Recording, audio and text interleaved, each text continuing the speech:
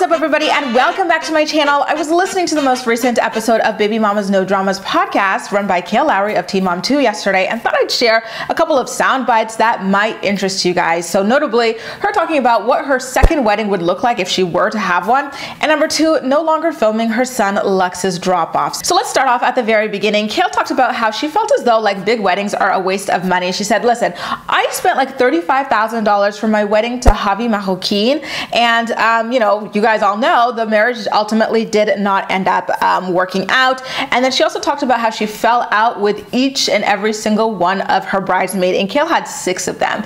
She seemed to play victim about it, but listen, if you fall out with six different people, you're kind of the common denominator, or in Kail's words, common demons toot and everything. So I don't think that you are necessarily the victim. We've watched Kail on Teen Mom 2 over the years. We listen to her on the podcast. We see her behavior on social media and it's pretty like clear as day that she's not the most pleasant person in the world. So it's not surprising to me that after a while these people decided like they, they couldn't continue being friends with her. Of course, like in some situations maybe she was the victim. But listen, if you fall out with all six of your best friends, something in the buttermilk ain't clean and I, I have a hard time believing that you are the victim in every single situation. So Vee actually chimed in a little bit on these things. She said, listen, you know, I do think that big weddings can be a waste of money as well. Like I kind of like the simplicity and like the intimacy of smaller weddings.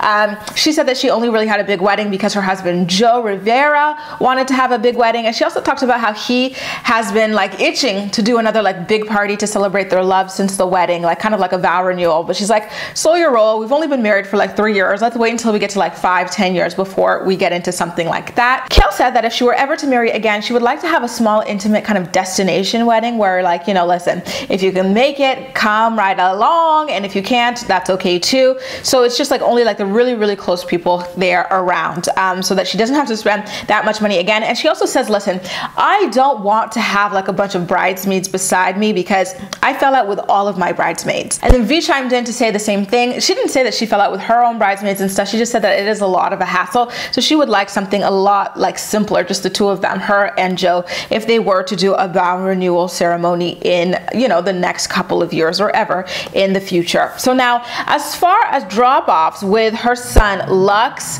and um, her ex jump off uh, slash baby daddy, two time baby daddy Chris Lopez, she says that she no longer wants to film them for Teen Mom 2 because Lux has started to have a tough time with them.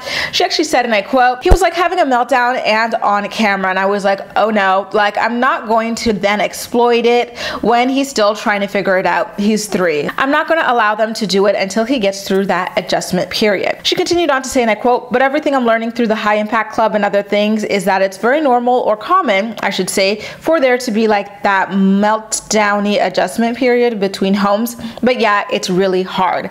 That whole car ride is usually about an hour long. I normally explain what's going on with the cameras there. That's a little bit hard. I personally don't mind her um, not filming the exchanges going forward because they don't even happen with Chris anyway. They happen with various relatives of his.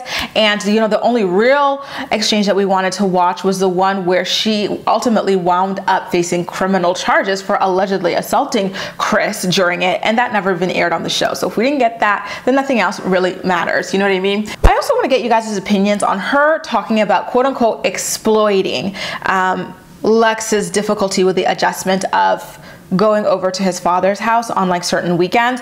To me, it's kind of interesting to see someone from the show use the word exploiting because I kind of feel like if they really understood, you know, the, the meaning behind the term, then maybe they would kind of re think their participation in the show maybe. And it also calls into question whether or not you know she sees the other things that she's allowed um, between her other children or even Lux as well and their own fathers play out on television. Was it exploiting Isaac to have him uh, refilm a staged separation between you and Javi when Javi was supposedly going away for deployment but it actually wasn't at that certain time? You know when they were talking about the divorce stuff like you know all sorts of different things. I would really like to get her um, kind of take on the various things that she may or may not regret having filmed with her kids over the years. So that's one thing I kind of like about Kail is that she can sometimes acknowledge, you know, when she has made certain missteps in the past. And so I do think that she could be at least a little bit honest about, you know, her feelings about what she has allowed to air uh, about her children over the years. And, you know, maybe talk about how complicated it was to make those sorts of judgment calls when she was super young. In an earlier episode of the podcast, she talked about how she felt pressured to film certain scenes and how like MTV made it seem like it was illegal. Like for them, they would be like breaking their contract if they didn't film certain scenes despite them like being uncomfortable with them. And this was in their teenage years when they were 16, 17, 18, and 19 years old. So it's gonna be, you know, you know what I mean? I, I, I think that that's a very interesting conversation worth having and kind of seeing what she feels about it all as she gets older. Because you know, you, when you're much younger, you do have that excuse of like I was younger and when you were really poor as well. I was poor, I didn't understand anything like that. But now that she's got like a, a, a staff of lawyers on the payroll and um, you know, she's much older, she's like, you know, a sneeze away from 30 at this point. How does that kind of change, you know? Anyway, you guys, those are just my little ramblings as usual. I'm more looking forward to hearing what you have to say about everything. So please make sure to let me know all of your thoughts and opinions in the comment section down below and we'll chat. That's all for now. Thank you so much for watching and I'll see you next time.